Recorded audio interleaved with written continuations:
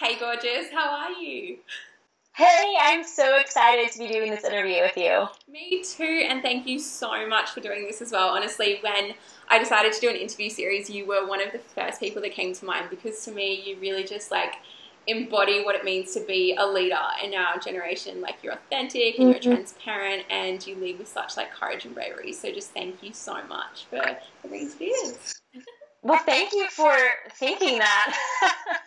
That's really sweet of you, and I appreciate it. That's a huge compliment. Well, let's um, jump straight in. I really wanted to have yeah. about. Um, why don't you just tell us all a bit about your story and your experiences and what's gotten you to where you are today? Yeah. So I don't know how like this this conversation could take up an entire hour. So I'll keep it really brief.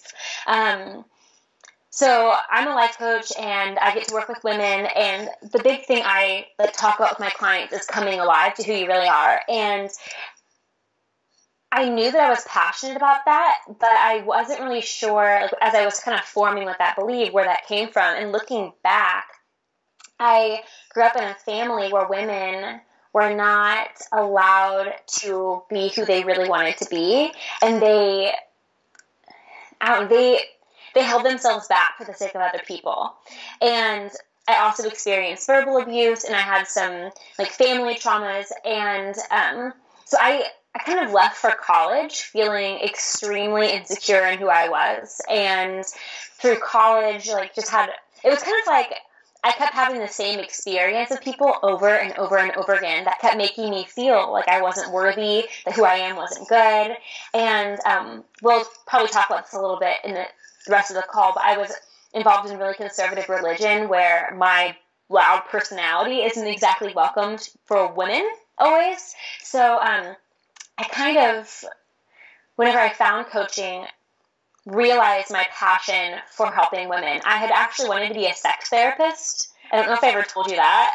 So I wanted to be a sex therapist first in college. And when I was um, at a, um, what's it called? Internship. I was at an internship and I, I just hated it so much. And I felt like people that were going to that certain facility were just complaining and not able to like move on. And I realized that I probably one wasn't ready to help people because I wasn't a healthy person, but also I'm really sensitive. And so talking about trauma all day was really hard on me and I wasn't able to leave it there. So I started searching for, you know, something else that could help me do what I wanted to do in the world and really condensed version. But a couple years later, I found coaching, and um, it has just it's a, I kind of feel like coaching chose me and not the other way around. So um, so yeah, that's my really really short version. okay, so having gone through all of those experiences what do you now know to be true like about life about the world and about yourself? Like how have your beliefs really changed and now like what do you really know to be true? Yeah so i think that this was such a hard question when you gave me this question earlier. I was like oh my gosh how do i answer this? I just i know that life is always changing and moving forward and evolving and expanding and i, I like to think of myself that way as well. Like who I am today, I, I won't be this person tomorrow or next year. And I think that that's how all people are. If you're alive, you're changing, you're growing, you're evolving. So maybe the only constant in life is that everything will change. That doesn't sound really good. Um, and nothing is stagnant. And I think, I mean, I hate to be cliche, but I think that like love is a really big part of what I want to contribute to the world. So maybe I don't have all the like philosophical answers for that, but I like to choose to believe that love is the force that runs the world. Yeah. Or at least wants to run the world. I don't have all the answers yet. I'm, I'm figuring it out. Yes. I love that. That's so beautiful. And what would you like? How do you make sure that you're constantly like growing and changing and evolving? Because I think that like sometimes it is easy to get like become really stagnant and complacent with our lives. So what do you do to be like really proactive about that? Man, I love personal development. I mean, I'm a life coach. like, I I love it. I like I see a life coach. I have a counselor. I'm very self aware, so I'm journaling. I like to work out. Like I even go through phases with what workouts I'm doing because I like to be doing different kinds of things. Like sometimes I'll be a runner and sometimes I'll be a yogi. Like I'm not very consistent with perfecting one certain kind of like workout as much as I am like diversifying the things I'm able to do. Um, I also am a podcast binger. I listen to so many podcasts, and um, I've been trying to listen to less to like digest them better. But I have been known to listen to them like on the fast button. Like, do you know that that's a thing that you can do? Yeah. Yes, I was. I can't always understand about the, the times two rate, but the times one point five is like perfect. Yeah, so, um, so yeah, yeah. it's a number of things. My husband thinks I'm a uh, personal growth like freak a little bit. I'm. I think if whenever you experience being stuck for so long and feeling like there aren't options for you, whenever you discover there are, it kind of becomes an, a, an obsession. And I'm health. I'm happy with letting it be a healthy obsession. So That's amazing. Yeah. I actually, um, I think I saw it on your Facebook, the Tony Robbins podcast about the six human needs. I so good. I listened to it like six times. Yeah. Well, I listened to that um, after I saw it pop up on your feed, and oh my gosh, absolutely blew my freaking mind. I realized how much of my life had been governed by my need for like uncertainty and variety. Like that is a massive one Yeah. for me. Anyone that's watching this, um, head on to yeah Tony Robbins podcast, and it's the six human needs. It will just blow your mind and just help you understand yourself and why you do the things you do, and the people around you as well, why they do the things they do. So much better. Just blew my mind. But yeah, Yeah. one of the needs that he talks about is the need for growth. We need to feel like we're evolving and, and changing and expanding because it's the nature of the universe. The universe is constantly expanding, and we are, Yeah. you know, the sum total of, of the universe. We're made up of the same stuff, so it makes sense that we'd want to go in the same direction. Yeah. Yeah, and one of the one of the other ones is significance, and I was thinking a lot about how I think the growth gives me a sense of significance in the universe somehow. So it's like those are, and I think he talks about how three, if you if you can meet three of them, it's an addiction. So I'm sure it gives me some sort of addiction, and I'm addicted to it. And I'd rather be addicted to personal growth than a lot of other addictions. So, so yeah, I'm fine with it. Yeah, so good. That's awesome. Well, a lot of um, what I talk about, like on my blog and with my tribe, is this idea of like success and what it means to be successful. So my big thing is encouraging people to redefine success and actually really decide what it means to them to be successful, rather than just following what the world tells them that they should do. Um, so, what's your definition definition of success, and what does it mean to you to be successful? It's so funny because I have my notes here, and the thing I wrote down was success is defined by the person. And you just said that, and it's amazing. I think, I guess, because I can't really define success for anyone else, I know that success for me, um, it's going to look different in each season, I think. Like right now, success is having relationships that I can really count on and having people in my life who I can love well and support them. Um, I also I love doing things. Like I like I want to say I like being successful, but I like doing things with excellence. And so, um, doing something with excellence and putting good work into the world is really important to me. So, I, I mean, I would obviously love to make a living doing the things that I love creatively, but um, I think whenever you're producing excellent work, that comes. Yeah, absolutely. Having that freedom to really like decide how you want to spend your time and where you want to invest your energy as well. Like it's just yeah, that's So I love that idea of investing energy. I've been thinking a lot about that with I listened like it was like last week I listened to like four podcasts and they all talked about it was like the theme of everyone everyone's podcast I listened to last week was all about investing your energy into worthy causes. So yeah, yeah. that's hard to do. Totally, because it's like it's what we have to give the world. We have our time, talent, and our treasure, and like so much of for me, like I value my time like so so much. So for me, if I'm ever doing something that I don't feel like it has a meaning or a purpose behind it, or it's not gonna um, you know, fulfill or satisfy me or someone else in any way, I get really like frustrated by that. To me, that's like the ultimate form of like being trapped and feeling like, yeah, like I can't move. So, um, yeah, it's Uh, so important. Yeah. Yeah. Well, let's move on. There was one question I really am really excited to ask you because a lot of like my tribe, we're sort of want to change the world where yeah like you said visionaries and idealists and it can get really overwhelming when we look at all the need that's happening that there is exists in the world right now so to you like and it's really important obviously to just choose like one or two causes that you're going to invest a lot of your time and energy in because otherwise you just run around trying to fix everything and it just doesn't work you just end up Oh, wow. so to you what do you Yeah. feel like the biggest problem that our world is facing right now is Man, this is like you said, it's such a big question, and I, I don't know if this is necessarily like scientifically the biggest problem in the world because you know, like there's world hunger, and there's like there's global warming, and there's so many things that I really want to be passionate about. But the thing that hits me the most is injustice.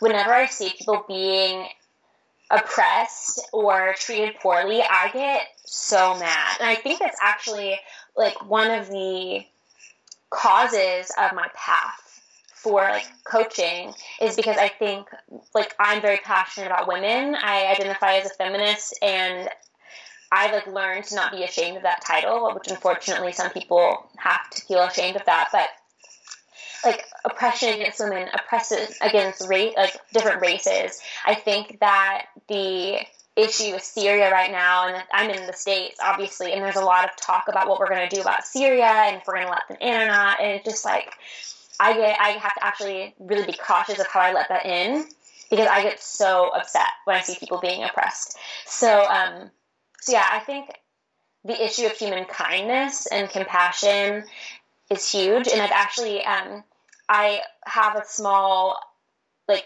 podcast in what is it called? I'm like losing my mind because I'm so into this topic. Um, the Bravery Board.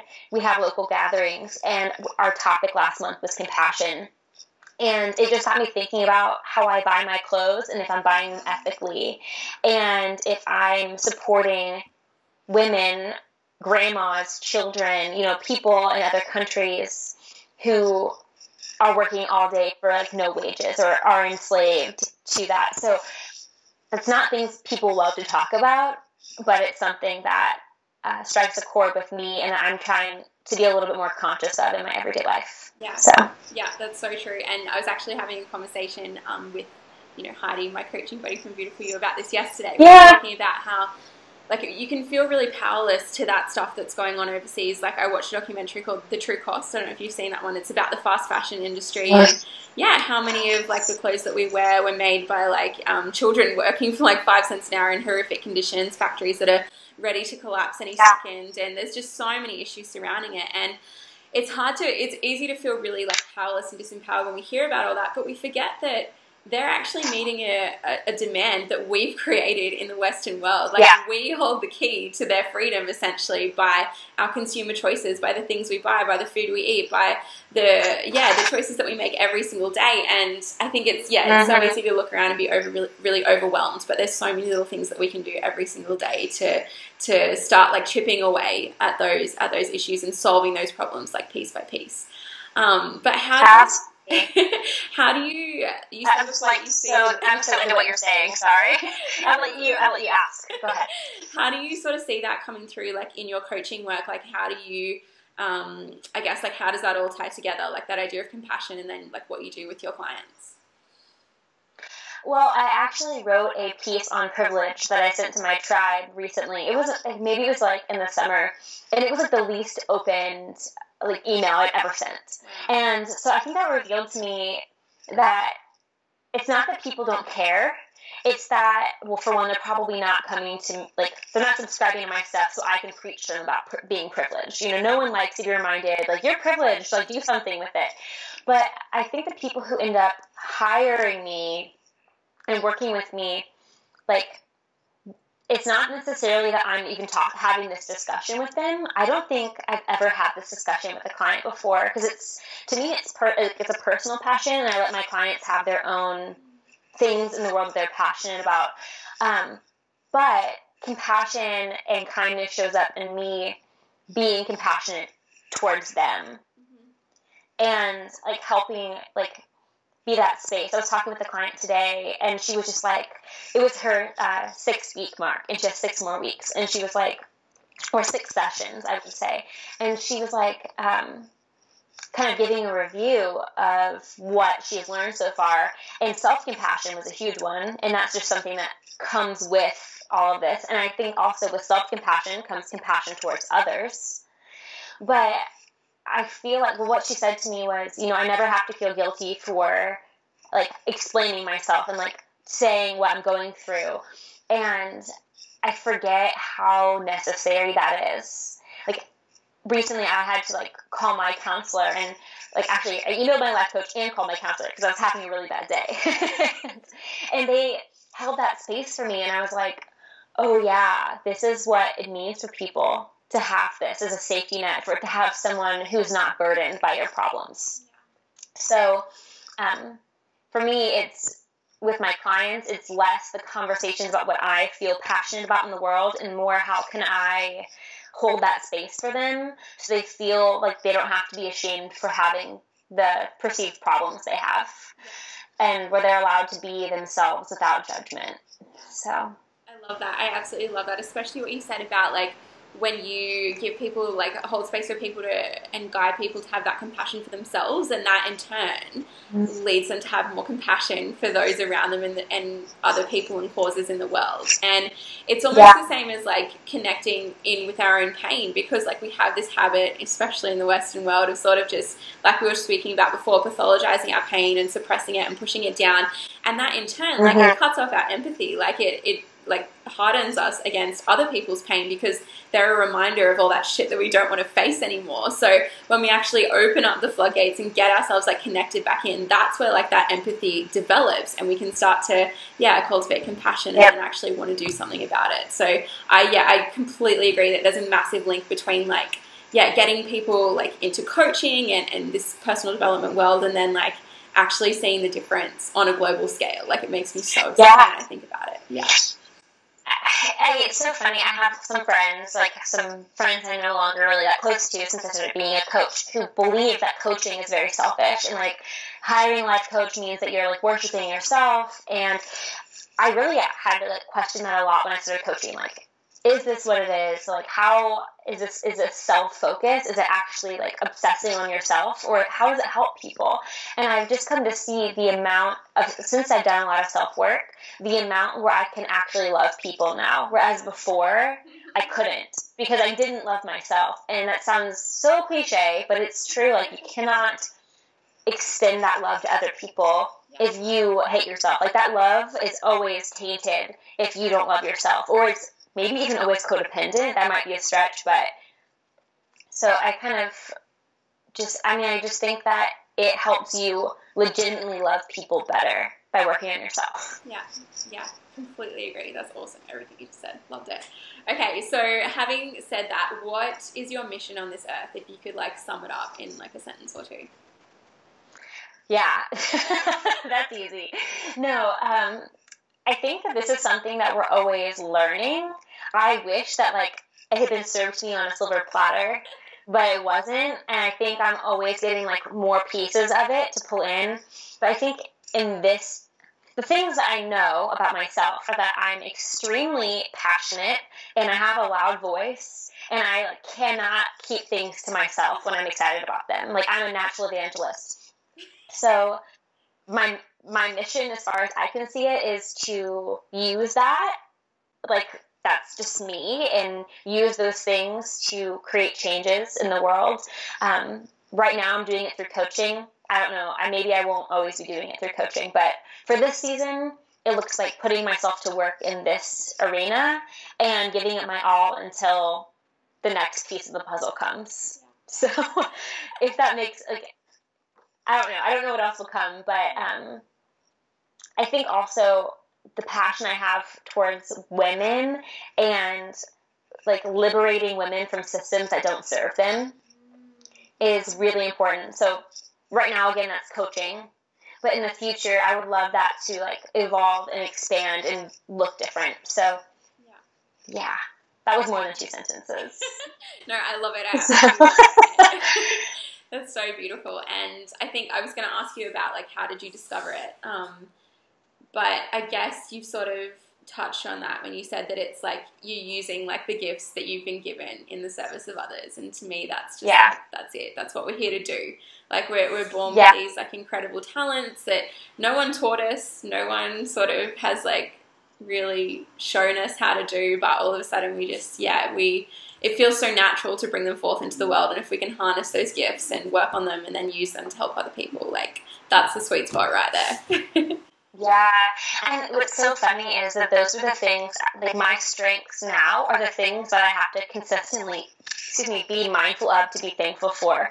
They're like the the things that other people would look at me and be like, "Wow, like look at this thing about her that's awesome," or the things that I'm like, "Oh my gosh, I'm too loud." Oh my gosh, like I, you know, I talk too much, which I do talk a lot, and there. I actually said this to a friend today. I feel like they're like superpowers. Like everyone has their own superpowers, and I feel like right now I'm in a season of learning to channel them to where they're like better and more laser sharp. But that means I have to kind of like it's kind of painful to like watch it cut away. So I think as we step towards our purpose and our calling and our mission, whatever you want to say, and we're like leaning into those strengths, that comes with a lot of refinement. And like that is not always fun. And for me, it has triggered a lot of like, this is a bad thing about you. So as opposed to like letting those voices, those old voices, tell me they're bad, I'm trying to just own the fullness of them and be like, okay, like these strengths also have shadows. And I have to own those shadows before I can channel them to make the strength even stronger. So, um, yeah, I'm trying to do that. It's a process. it is such a process, and um, let me know how you go because I could use some tips. No, that's so funny. That- was actually my journey last year. So, um, those Really? of you like that have read my blog would know that. Like I was still like I was very self-destructive. I just had this tendency to like self-sabotage and self-destruct like any chance I got because I didn't believe that I was like worthy of having this amazing life with everything going really well. At the same time, it was also like I had an upper limit problem and um, I had to learn to channel that like destructive energy into something that was actually going to serve me and, and serve the world. And what I've realized is that it's actually like all that like internal like angst that I feel that wants like to go and drink an entire bottle of wine or go and like have a one night stand or finish a whole block of chocolate, whatever it is, is actually just like creative energy and it's just being like misdirected and misused. And if I Mhm. actually, in those moments where I'm feeling those things, actually sit down at my computer and like write, or if I go out and um, like have a conversation with someone that like really needs to needs support, or if I just do something where I can allow that energy to express itself in a different way, then it actually becomes like productive and it's just so much more healthy and it's just freaking changed my life. So yeah, I can totally relate. That is so beautiful. So for you, when like I know you're interviewing me, but like I have a question. So, um, for you, like would you say that that is something? Because I'm really curious about the idea of self mastery, and I don't know if I believe in it or not. Like I, to me, it's like wellness is a choice you make every day. Like if you stop working out, after a while, you're not going to be fit like you were, once were. If you stop eating healthy, you're not going to feel like you once did. And so for me, it's like I think people like I've actually had clients who think that because they book three months together that like they're going to be good after that. They're like, now I'm going to be good because I had a life coach, and I'm like, no, like, this is a forever thing. Like this is lifelong. So I'm, all that to say, how has your experience been? Like once you made that decision of like I'm going to rechannel this energy, what was that path like for you? And is it still hard to make those choices? Yeah, for sure. Awesome question. I love that. Um, I think with any like massive life change that we go through, like it starts with like for me, it always starts with like a revelation. There'll be like an aha moment. They'll be like, well, first of all, they'll be like, okay, this isn't working, and things will continually get worse and worse. I'll get all these like cosmic nudges from the universe, being like, this is an issue. You should pay attention to this. And it can either be like, I don't know, I keep just coming up against locked doors, or like I had a car crash in 2013, and that was a massive for the Yeah. universe. That was just like wake up and pay attention. Like something is going on here that you need to sort of like get your shit together.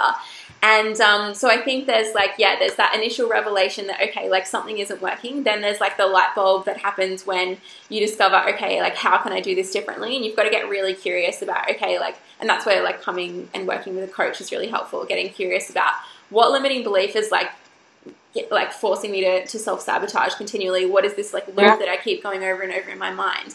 And then how can I change that? And how can I reframe that? And then after you reframe it, there's also like that process of integration that you go through. Like after you finish a coaching series, after you've like gone through a, like a really deep period of transformation where you have to make sure that like your actions are aligning with like your new highest thought. So whenever you're placing yourself in that same like situation, so like for me, whenever I'd got that urge to like go back on Tinder or like whatever, go out and get smashed, it was like, okay, I know that this isn't going to serve me anymore. I've had that revelation. Now I need to go and like match my new actions with like yeah that new highest thought about myself. And it's totally a process. I love that. but it's totally a process, and you're going to backslide and you're going to um, stuff up essentially. But as long as you like you have that commitment, it gets so so much easier the more that you go. And that concept of self mastery is really interesting. I think like for me the biggest thing is just mastering like your mind like because our mind you know it can either destroy you or it can lift you to like the greatest heights. It's like the most incredible tool that we have. Um yeah. so i think that if you've like if you've looked at all like taken it apart and like looked at the way you think about things like ex- really examine your beliefs what works and what doesn't um, and like created a really healthy foundation then that's just gonna gonna serve you and all the external stuff just falls into place. I hope that man no, that's so good. Like everyone who coaches with you is so lucky. Like that is so wise. like seriously, I'm like, dang, that is so good. I wish I should. I'm gonna rewatch this later and like take notes on what you just said because that was that was so good. I the only thing I like even could think to even add to like make that conversation like any better, which I don't think I can. But the thought I had, I guess that's a better way to put it. The thought I had was whenever I'm not living to that like highest thought, I'm miserable. Yes. Yeah. And I think people like my clients, myself, like people I know, we have these aha moments and then we think that like just knowing the aha moment is enough. And then we wonder like why is my life not changing? And it's like because other things probably need to elevate as well. And man, that's good. I'm learning so much right now. it's really good. Yeah, I love this. This really conversation's already taken like I knew that it would. I knew that it would like take a different direction to what I expected. But yeah, and just hope really hope people are getting a lot out of this. Um, okay, so now biggest failure. We've talked about backslides and messing up. What's been your biggest failure, personal or professional? I definitely, I'm definitely a positive person, and so I'm that kind of person that's like annoying, like let's see the bright side in this negative, awful situation. And so I feel like I really try to take hard things and make them good. I don't really know if like I don't know. Um, I've had friendship failure. I guess I should. That's a that's a big one. Um, I have like had major transformation in the way I do friendship and that's actually becoming something that I'm talking about more in my work. Um, with obviously discretion of those women, but I had um, failure in friendship because I had failure of knowing who I was in the past. And so my insecurities and my inability to stick up for myself and um, I would surround myself with people who didn't treat me well because I didn't believe I was worthy of love and I didn't believe I had a voice. And so I would have I had friends that like picked on me, and I'm sure you can tell I'm like pretty like like loud person. And so for me, who like naturally talks a lot and everything to let let someone walk on me and tell me how to be and it doesn't align, it makes no sense, but that's who I was. And um so my doing that led to a lot of resentment towards friends and eventually instead of dealing with it and like knowing how to have a healthy boundary and how to have healthy relationships i let the relationship implode. And um, one specific girl, I like, I let it go on so long where she probably didn't even know how bad I was hurting. And then I just like ended the friendship. I just like cut it off and was like, yeah, we're done. And I had, that was a bad pattern in my life at that time. I'm like really good at like cutting people out. So, um, I tried to reconcile and she didn't want to. I hurt her so bad. She, like, she still like she recently moved from California back to where I live, and um, like I've reached out, and like she literally does not want anything to do with me. We don't, we aren't friends on social media, and I grieved that friendship. It's probably been three or four years now, and um, like I get anxious thinking about when I'll see her out, and more so just because I like I care about her and I feel guilty for the way I handled the situation. Do I think we were best for each other's lives? No, but I didn't treat her with kindness and love because I didn't know how, and that's a bummer. So I've learned a lot from that, like those kinds of failures. Um, and I'm really passionate about friendship now because of it. So, business failure yet to be seen. I'll let you know.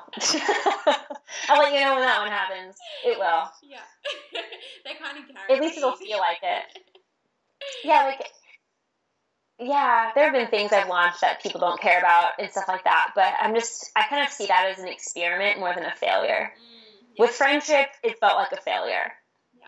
So. Um, how yeah. did you sort of like with the friendship situation, how did you like make peace with that? Like you said, you felt really anxious about like seeing her. How have you like now come to a place of yeah, more inner peace? Yeah. So um, I thought that I like about a year ago. I thought that I was in a really good place with it, and um, I I would like kind of be proud of myself the way I could just like let people go like, yeah, I'm like really good at detaching. And my counselor was like, that's what people who have experienced a lot of childhood trauma say. and I was like, great, you know, like, and I did, um, like, I've had four, or I've had, yeah, four stepmoms and I've had like I have six siblings, and none of us have all the same parents. And so I have a yeah, very enmeshed family. People were in and out of my life, and that's just a, that's I want to say a skill, but it's a skill I picked up, like learning to say goodbye and learning to detach. And so I've had to work really hard at when things are uncomfortable in a friendship and when things are painful or when someone hurts me to not just leave. Because that is like my default and that's just like well this isn't working and i know i can be happier somewhere else so bye. And that's a great skill if you're in an abusive situation if you you know like there are a lot of ways where you should be fed up and you should go but there's also a lot of friendships and relationships that are worth fighting for and learning the discernment between that has been helpful. I've created healthy friendships. I've like really worked on creating safe people and being seen and allowing people to like be themselves to me and giving grace.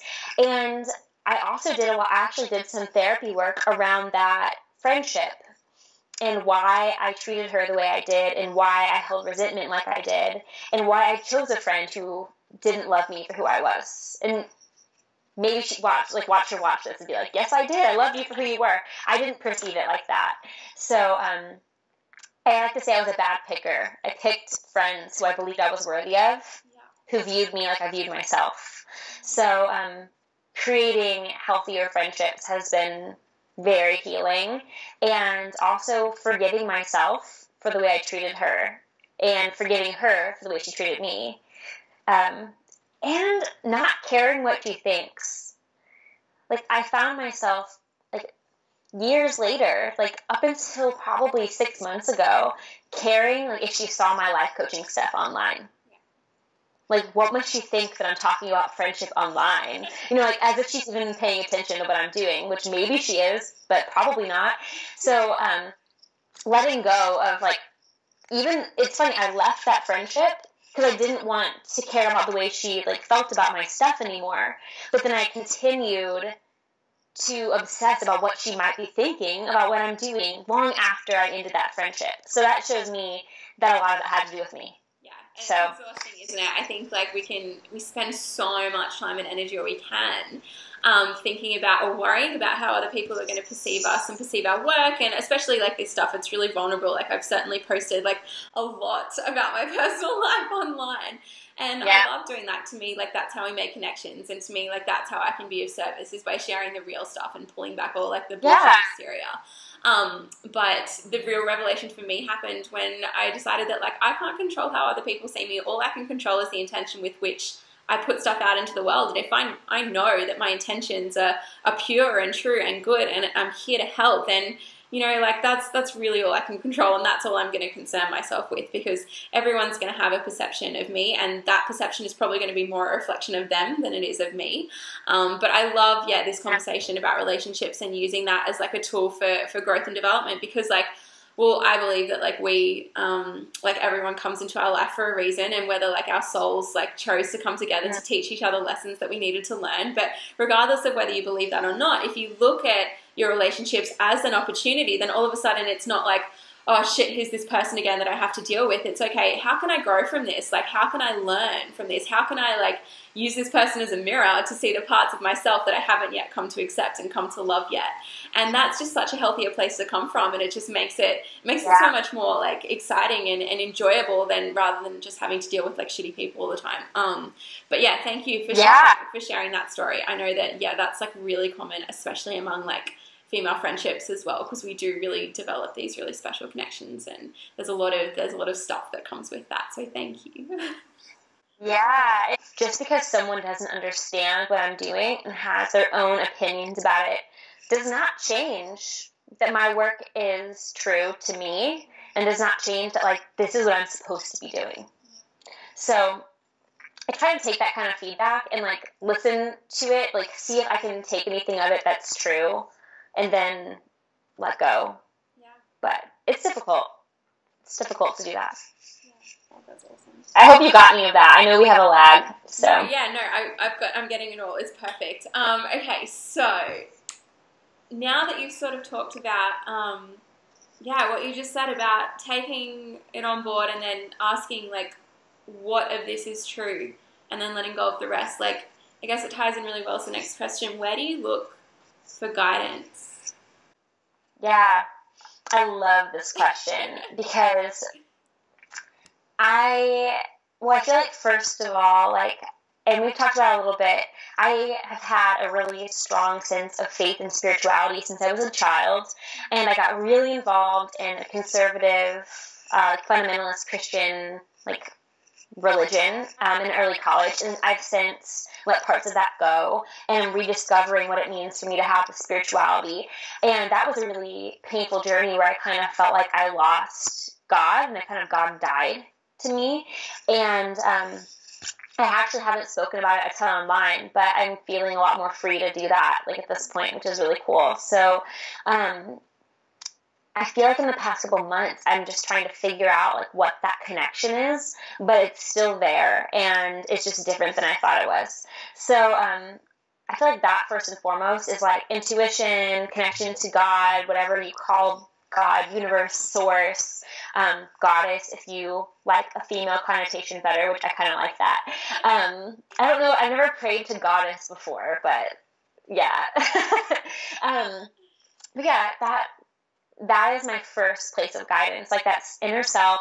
That's kind of where I start. Um, and then the second part of that would be like I feel like I have finally cultivated an amazing support system, and I have friends who deeply know me and are there for me no matter what. And I have a life coach who is amazing. Her name's Steph Jagger, and I have a counselor who's local. He does energy work and therapy. So I feel like my wellness journey has brought me from a place of just being isolated with me to having this community of people and who like truly accept me. And so um obviously whenever people like my counselor and I had different spiritual faith beliefs, but I still try to take what he says and like apply his perspective with that like filter of what's true for me. So um so yeah, that sense of grounding in who I am always comes first, and then everything else. Okay. That this is like yeah something that's going on for you at the moment, and it's obviously really changing. But like, I guess now that you've yeah you're exploring this a little bit more, like how would you define God, or like who or what is God to you, and then how do you connect with that like part of yourself? Yeah. So to me, at this point, God is the source of all life and everything that's in the universe. So a lot of people say that God is the universe, and I don't know if that is the right word for me because to me, the universe is part of the thing that we live in, and my perception of God is like God is even bigger than that. Like God is bigger than the universe. Um, so God is the source of everything. God is the energy of love that is the fact that we can have this conversation and so deeply connect and people listening can be like, oh, I feel that. Like that to me is God. And I don't know if that's, there's a word for that. I do think the story of Christ is very beautiful. Um, I'm also really inspired by just people doing amazing things in the world and that they're inspired by what they believe to be God. And so that thing that connects us, grace, the idea of Christ, I don't have words for it quite yet, but um, yeah, it's personal to me too. And I really wanted to be an atheist for a while after I left my faith, like my traditional faith. And then I like couldn't because I couldn't deny this thing that was like connecting to something. So, um, hopefully, in like six months, I have a better articulated version of that. No, it's check in. It's perfect, and it actually it aligns really closely with like my my beliefs as, as well. I've had a sort of similar experience, and um, except for me, like I grew up in a very like open home. Like my mom taught my sister and I to meditate when we were five. Um, she taught what? us the 10 Native American Indian commandments. Like we grew up with crystals and all of these different things. And we got to choose what religion that we wanted to practice. So like I wasn't baptized until I was like 14 or 15.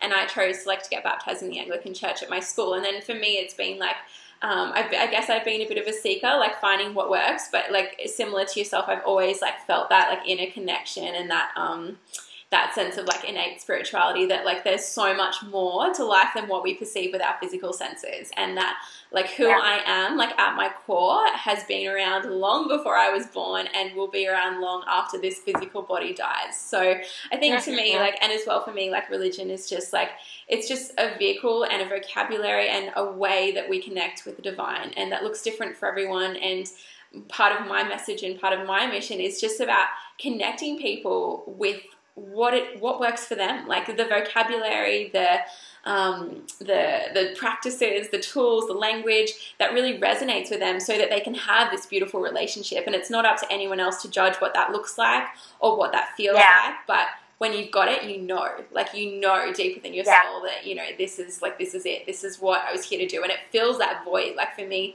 I spent so many like years in my adolescence searching for things to fill like this void that I felt inside me, this hole that that um, I had, and I used you know like sex and drugs and alcohol and guys and all of these different things, and and nothing ever yeah. worked. And it wasn't until I like I walked into church and I started meditating and I started praying that I found like, oh, hold on a minute, this is what's supposed to go inside that hole. Like God created that hole so that yeah. he could he could fill it, and that we could have that connection with Him, like here on earth, even in these physical bodies when we can't like see. Um, what's really going on. So yeah, it really aligns with like my own beliefs. And yeah, I'm so glad that we can have this conversation because I love talking about this stuff. And it just um, I don't always talk about anymore. Anyone, any of my friends are like, "Are we still having the God conversation?" I'm like, "Yes, we are. It's important. It's so important because, like, I think in, we live in such a secular society because so many people have been disillusioned by mainstream like religion, and I get that. Like, I t- that's totally understandable because yeah. Like, a lot of you know a lot of um, religions have been like perverted, and a lot of like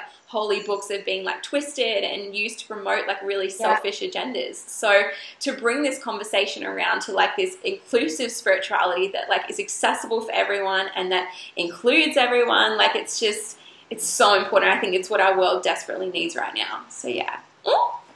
I couldn't agree more about like do I sorry. It's giving me goosebumps, that's all.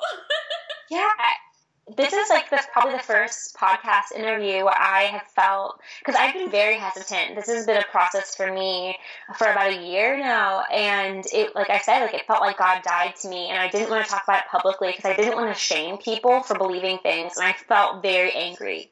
Like I was really angry, and I was really confused because it was like because you find so much community within a, a, faith system, it felt like I lost that connection to those people as well. And so I was, I'm, I maybe I'm still kind of afraid of if I'm too open, then I might offend some of my followers or my clients, and I don't want to make put them in a bad situation. I think eventually, like I'm so passionate about this topic, I will have to talk about it, like more on like in my work.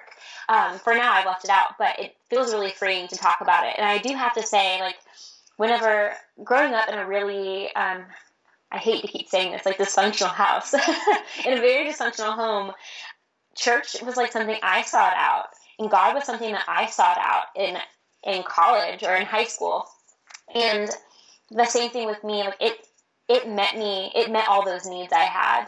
And so I can't be mad at something that gave me so much joy and fulfillment.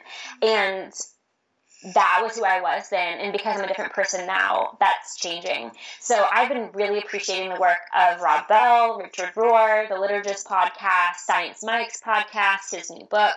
So um, I'll send you all those links. So if anyone else has questions about this conversation, yeah, because it's scary to change what you believe whenever no one else understands. And that could be even what you believe about what work should look like. You know, like it can be beliefs about anything. So that's my rant. I'll send you all those links because they're worth listening to. Yeah, that's awesome. All right, well, I've only got a couple more questions and then um, we can wrap okay. up. But what is your idea of utopia? Like, what does a perfect world look like to you? I don't like. I don't know. I think obviously a world without oppression, like a world where people aren't treated badly, where people are allowed to express themselves, um, where people are kind to each other. It's hard for me to uh, really imagine a utopia because I do believe in the power of choice, and I don't like the idea that that could ever be taken away from us. But maybe just where people are given the opportunity to have like human consciousness at an early age where they're able to know themselves and make healthy choices as opposed to like I mean, people hate on violent cultures and like a big issue right now in America is like um is black culture and like it the debates last night were last night for the polls um for the president and they were talking about race and it was making me so upset because we don't realize that like for one as white people in America, we don't understand what it's like to be another race here, and we also don't understand what it's like to have generations of poverty for certain specific groups of people. And no matter what we do, like the generational mindset is passed on, and that's the same no matter what race you are. But like to be able to go in and like help I don't even I don't I don't know how it would be done, but in utopia, people would have the option to have all their needs met so they could become the person they're supposed to be. They would actually have opportunity and they wouldn't be profiled because of any certain way. So I don't know. That's all I really have about that before I get too passionate. I love that. And it is like, it's equality of opportunity. It's looking at, okay, like, because we're not all starting out on the same foot. I think, and I see this a lot in like Western cultures, um, especially like in American and even in Australian culture. It's this idea of like the Australian dream or the American dream, where if you work really hard, if you know you know bust your ass, if you like um, follow your dreams or whatever, then you'll make it. You'll get the house and the car and the white picket fence and the two point four kids. And it's just like, it's absolute mm-hmm. bullshit because no matter how hard you work, there is a system in place of social oppression and inequality that makes sure that you will never get past a certain place. And whether that's right. like it's also it's a structural like societal system that um like doesn't give people the same access to like healthcare education which is obviously like physical inequality but it's also like a mental um it's a, um, an inequality of a mindset and it goes back to that thing that you said about the the generational cycle of poverty that people are in because if you grow up believing that you know you're here for no reason you're going nowhere and you're good for nothing that's exactly what you'll become and if you're growing up yeah. surrounded by poverty and surrounded in a world where your parents are yeah like working you've got a single mom that's working three jobs just to sort of you know pay the rent then what else is there? If you can't see what else is out there then how are you going to actually break out of that? And that's why i think like technology is incredible and social media is incredible and that's why i think like our generation has so much potential to actually change all of that because all of a sudden like access to things like education and things like this like interviews where you're talking about um, you know like personal development and stuff like that. It's not just limited to a select few people based on like their wealth or their social status or their race. Like we really are like leveling the playing field, um, and that's what makes me really excited about the future. But yeah, totally agree with everything you said. Quality of opportunity, and yeah, like, um, yeah, it's awesome. Um, it's so good. You're so wise. I'm like, yes, yes, so good. okay, last question. What do you love about our generation? I talk a lot about, like, yeah, like I just said, how excited it makes me that our generation, like, has the tools and um, the will to actually, like, you know, turn this ship around. And we are at a pivotal point in history now. Like, there's no de- denying, like, the environment's going to hell in a handbasket if we don't do something. Like, politics is a mess. Yeah. Like, so many things clearly aren't working. What do you love our, about our generation and, like, do you see that potential there that we can, you know, change it before it's too late? I do not understand when people hate on millennials. I'm like, I know the coolest people. Like, like I, I feel like I encounter people and they're like, especially when I was waiting tables, I had a guy like, oh wow, you're really, like, you're really driven. Like, especially for like someone in your generation. And I was like, what does that mean? Like, do you even hang around with people who are like or maybe because I was a waitress, he assumed that I didn't have aspirations. I don't know, but I was like, I feel like the millennial generation is highly underestimated. Sorry if you can hear my dog; she's like shaking off all the.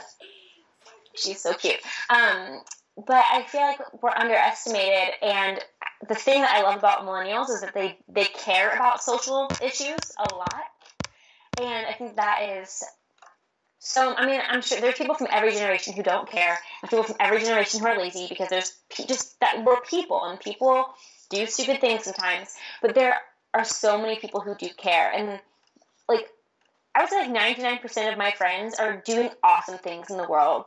They care, they're bettering themselves, they're trying to better the world, and they're also, I love this about millennials. They're at least in America, which I'm pretty sure it's the same in Australia, the financial crisis changed what it looked like to be a millennial for like millennials in America are officially more in poverty than the elderly, and that's like the first time in his, the history that that's ever happened. Which maybe I should be fact checked on that, but I'm like someone can Google that and find out. But we're way more poor than our parents were at our age. And because of that, I think that we're way more resourceful and our idea of the American dream is changing, which is awesome. It's like I don't necessarily see that as yes, it, it holds us back in some ways, but as an entrepreneur, it makes me excited for the people who are just like, I'm not going to do it the same old way. I'm going to pave my own path and the self belief it takes to do that. And also, I think that our generation is really craving spirituality in a different way than our parents were. So, those are the things. Yeah, I love that. It's like it's sort of like we've looked at our parents' generation, and I know I certainly did this when I was growing up, and I knew that I didn't want that. Like I didn't want a bar of it. I didn't want like the nine to five job where I sat in an office all day. Yeah. I didn't want to be like um, held back or like tied down to a mortgage or a particular like house. Um, I didn't want to be shackled by student debt. I am, unfortunately. Um, but it's me too. yeah, but it's sort of like there's this traditional path that our parents sort of set out for us that for them was very much like hailed as the path to success. Whereas we call like we're calling bullshit on it because we know that a lot of it was just sort of um, it's actually there to to sort of oppress us and it's actually there to sort of widen the gap between like um, the the lower and the the higher classes. And I think yeah, like that sense of like disillusionment and that sense of like dissatisfaction with the state of the world at the moment, the state like the way that our countries are run, the way that like the financial systems are like colluding with governments and and big corporations are basically running the country. Like we can see all of this. Like we're we're sort of tearing back the the veil a little bit, and like it's so much more transparent now.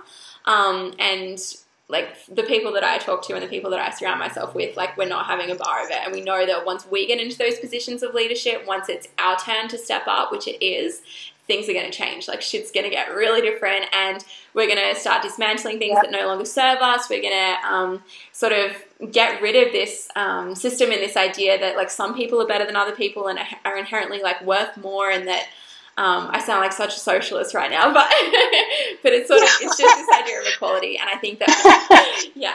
Um, but I could talk all day on that. But um, but yeah, I'm so glad with it. No, we, so we got to touch on like so many different topics today. Oh my goodness, we've just like covered it all. I know. but, we really did, and I I so enjoy it because to me like I love getting to help women, and I love getting to have women who are my clients and hang. I, I just I love it, but the thing I love about it is that once you feel like you're in the process of healing, even you are that much more likely to do something about the suffering of others. And so the conversation is like, why I'm so passionate in the world. And I don't always talk about these things on my, like, because I'm serving my clients and helping them get to that step. And they're, they're passionate about their own things. But this is the stuff that, like, gets me excited in my personal life a lot. So I'm so happy we had this conversation. Hey, awesome. Oh, I'm so glad. So, so glad. It's been amazing for me as well. I love talking about this stuff. It makes me really happy. So, thank you so much, honestly, from the bottom of my heart. Thank you, thank you, thank you for being a part of this. And um, I'll leave all of your social media links and a link to your amazing online home um, just below this video. So, everyone, please go and check Maddie out. She is absolutely incredible. She practices everything that she preaches. And um, yeah, she's an awesome, incredible leader for, for our generation. So thank you so much for being a part of this. And um, yeah, yeah, I'll talk to you soon. All right, thank you.